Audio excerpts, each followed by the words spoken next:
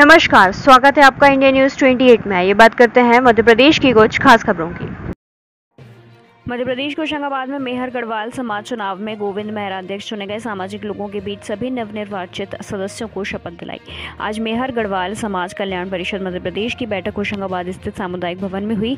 बैठक में सभी नवनिर्वाचित सदस्यों को शपथ दिलाई गई तथा प्रमाण पत्र दिए गए। इस अवसर पर मुख्य निर्वाचन अधिकारी आर के मेहरा, भोपाल सहायक निर्वाचन अधिकारी महेश हनोतिया एवं लखन लाल बचले संदीप मेहरा द्वारा नवनिर्वाचित सदस्यों को शपथ दिलाई तथा प्रमाण पत्र दिए। मार्केटिंग हेड दीपक बर्ती के साथ रंजना बामने की रिपोर्ट। आज के इस शानदार जानदार निवर्तमान और वर्तमान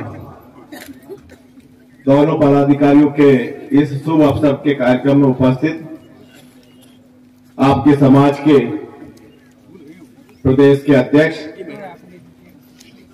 सम्मानी जीपी मेहरा जी, और जिनसे मेरा लंबे अरसे से संपर्क संबंध है। अनेकों बार जब कोई काम पड़ता है तो उनकी छत्रछाएँ हम पर रहती है। मैं तो आप सबसे कहूँगा कि हमारे नवनिर्वाचित प्रदेश के अध्यक्ष जी का ताली बजाकर स्वागत करें बदल करें अभिनंदन करें। मंचासीन सभी सम्मानी अतिथिगण अब नाम लूँगा, कौन छूटता, कौन नहीं छूटता तो गड़बड़ हो जाती है। उपस्थित सभी मात शक्ति माता बहनों, सभी सम्मानी साथी बंधुवरों